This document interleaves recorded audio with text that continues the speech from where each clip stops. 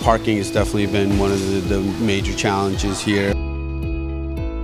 We're kind of out of room here. We've outgrown our, our building and having more room, more kitchen space, more space to prep, more space to, to, to, put out food.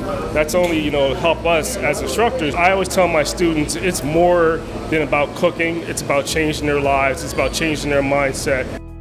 I know from visiting the food bank and walking around and seeing all of the great things that are happening here that you're sort of bursting at the seams.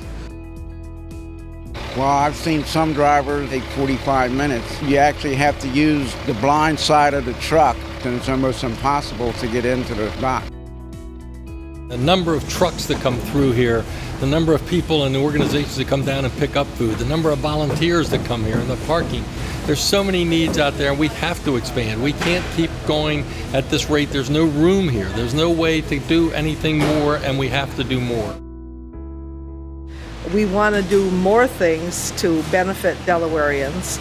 We have been asked to do more things to benefit Delawareans, but we just no longer have the space to do that. We are compelled to find other space. We just are compelled.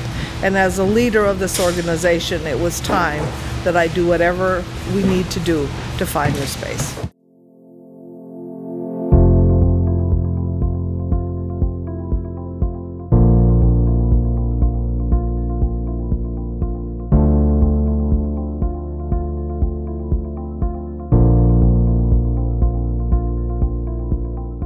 This campaign, which is such a bold future for the state of Delaware, is critical for people that live in the state. So we were going to do more training, we're going to make more food available, we're going to distribute food ourselves through a state-of-the-art food closet.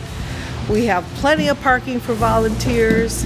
We have loading bays for all of the trucks. I mean, this is just going to be an incredible incredible opportunity. They fill a gap that's not provided by the private sector, that's not provided by government. They're a go-between, frankly, uh, between the two and a connection point that's so important for basic survival of so many folks in our state. You know, I am so thrilled uh, by the expansion of the food bank, doubling its space.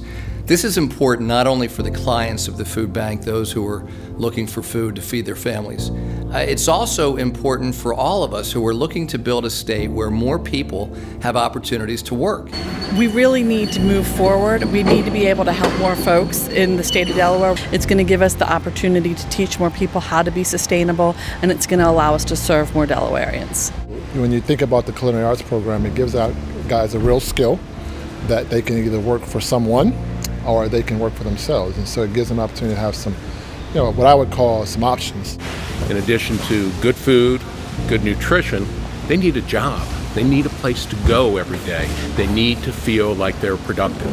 And clearly, what the food bank is doing is providing new opportunities for these individuals to grow and develop careers. I was able to learn a lot that is even beyond my imagination. I can do whatever I want to do now. I can cook, I can bake, I can do everything. And my family is so proud of me. There's great leadership at Food Bank. There's a great vision with a great staff of people who I think uh, upon moving into this new facility would do even greater things. It's really a strong organization that can, it's only going to get stronger with a bigger facility. When I look at my kids and I look at their opportunities and what they have in this world, I just feel like every child in Delaware should be given those same opportunities. It's hard not to love an organization that means so much to people of all backgrounds, all types, all age groups. Uh, we just we've really impacted the lives of so many people. The food bank is there for our neighbors, and we need to be there for the food bank. They put their heart and soul into the work that they do, and they involve volunteers, and in doing so, they really lift up our whole state.